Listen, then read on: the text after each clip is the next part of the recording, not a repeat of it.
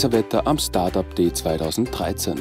In der Villa Blanca informieren sich am 6. Juni fast 250 Gründungsinteressierte, Gründer, erfolgreiche Unternehmer und Investoren zum Thema Entrepreneurship. Die Atmosphäre stimmt.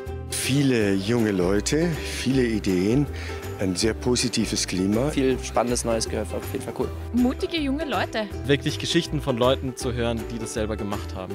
Spannende Keynotes, interessante Speaker. Die Veranstalter von CAST und AWS, dem Austria Wirtschaftsservice, haben ein interessantes Programm zusammengestellt. Ja, so eine Veranstaltung, äh, wo man sich persönlich treffen, persönlich austauschen kann, ist meiner Meinung nach ganz besonders wichtig. Es gibt zwar viele elektronische Medien mittlerweile, elektronische Möglichkeiten, sich zu vernetzen, aber das persönliche Gespräch und der Kontakt mit Leuten, der Kontakt mit erfahrenen äh, Gründerinnen und Gründern, aber auch äh, mit Personen aus der Finanzierungsszene, mit äh, Personen, die einfach Erfahrungen haben, die sie weitergeben können. Das trifft, glaube ich, für die gesamte Gründerszene, egal wozu, dass man sich persönlich austauschen können muss. Nicht nur Vorträge, sondern auch Gesprächsrunden und Business-Workshops gewähren den Gästen tiefe Einblicke. Neben Themen wie Businessplan, Lean Startup oder Open Innovation geben erfolgreiche Entrepreneure Einblicke in ihren Alltag.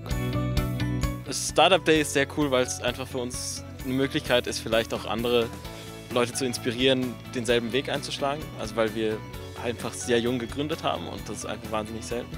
Wir fänden es cool, wenn es mehr Leute machen. Ähm, wenn man einfach nur einen Job hat, den man macht, weil der Kohle oder weil man irgendwie reingeraten ist, ich glaube, dann hat man nicht so ein Gefühlsleben wie beim Startup, weil da ist einfach jedes, jeder Erfolg macht einen mega glücklich und jede Niederlage ist total, macht einen auch super traurig und man spürt einfach jeden Tag, dass man krass lebendig ist. Ein gutes Stückchen Erfindergeist zeigen dieses Jahr auch die Veranstalter.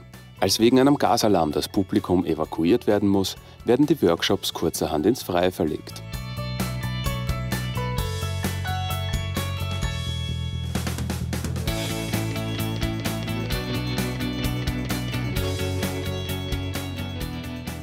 Die unbeirrbaren Gäste lauschen am Nachmittag Unternehmenspersönlichkeiten aus allen Branchen, ganz persönlich und hautnah. Heute ist vieles selbstverständlich geworden, wofür man früher viel Überzeugungsarbeit leisten müsste. Und das ist natürlich sehr schön. Das Thema ist angekommen. Äh, es gibt Menschen, die sagen, das ist das Richtige für mich. Das will ich jetzt angehen. Ich will ein Unternehmen gründen. Dass wir jetzt allmählich äh, auch im deutschsprachigen Raum den Durchbruch geschafft haben, dass das Thema Gründen äh, viel mehr auf dem Radar äh, von Menschen ist, als es vielleicht noch vor fünf Jahren der Fall war. Und dass Networking in so einem Umfeld ganz besonders Spaß macht, muss man den inspirierten Teilnehmern nicht zweimal sagen. Also ich bin eigentlich mit ganz wenig Erwartungen hergekommen. Ich habe gedacht, ich lasse mich einfach überraschen von diesen ganzen vielfältigen ja, Referenten. Für mich war es ganz cool, auch andere kennenzulernen. Ich habe mich sehr viel ausgetauscht mit ähm, Leuten, die ähnliche Erfahrungen machen. Das war heute echt eine Inspiration. Also ich gehe gestärkt irgendwie äh, weiter durch die Selbstständigkeit. Ein absoluter Gewinn.